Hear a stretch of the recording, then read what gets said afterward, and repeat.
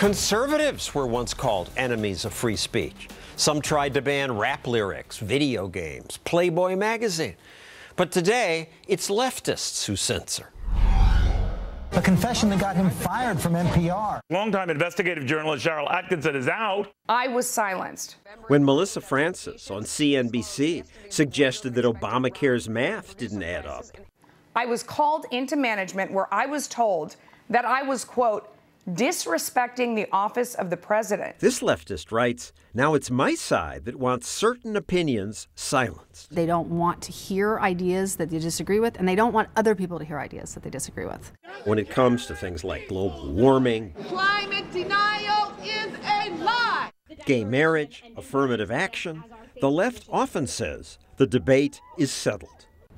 That's it. There's nothing else to talk about liberals have typically uh, believed in, in, free speech, debate, and dissent. This used to be a really central part of liberalism, and, and it was based on the idea that let the best idea win. But now it's, I'm offended. Get off this campus. We don't want you here. If you don't shut up, we're going to call you a bigot. We're going to call you a homophobe. We're going to call you something that's going to make everybody else not want to have anything to do with you. It makes you a slut, right? After Rush Limbaugh said that about birth control activist Sandra Fluke, the left tried to get his show canceled.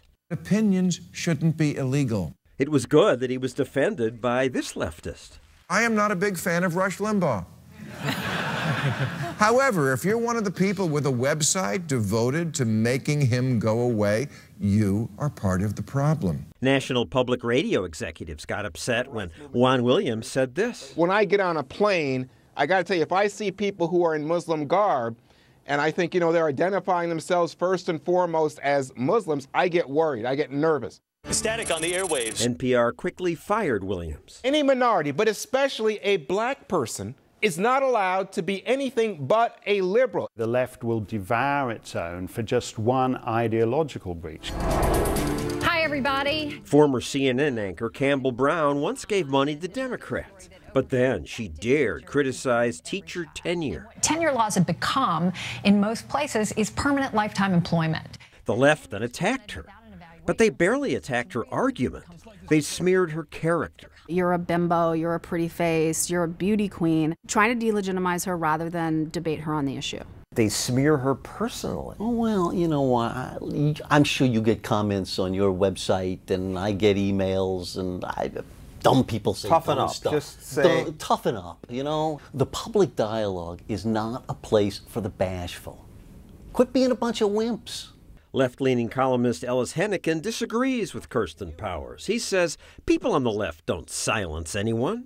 I think it is simply mistaken to suggest that that's all some conspiracy of the left.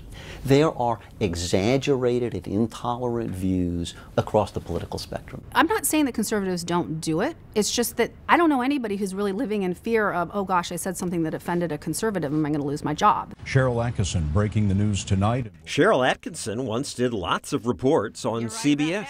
When she started to investigate the Obama administration, suddenly she was this secret, covert Republican, and basically this was the way to delegitimize her when she started to criticize the Obama administration, bye. I'm supposed to feel sorry for Sharyl Attkisson. She had a marvelous career in broadcast journalism that went on for decades. Powers' book is unusual because few people on the left think there is a silencing. Your friends in Washington, I assume. If you ask them about this, they don't see it. They don't see it because it's not covered by the mainstream media. LA Times, for example, saying they won't even publish letters to the editor that question climate change. That's not debate. The Los Angeles Times actually did announce it will not allow readers to express doubt that humans cause climate change. Come on, you're alarmed by global warming. Yeah. Aren't you secretly happy that they're no, shutting I, the other side up? No, I just, just I think that you should out debate them. Just make your argument. But this isn't what they want to do. They want to just basically just shut it down.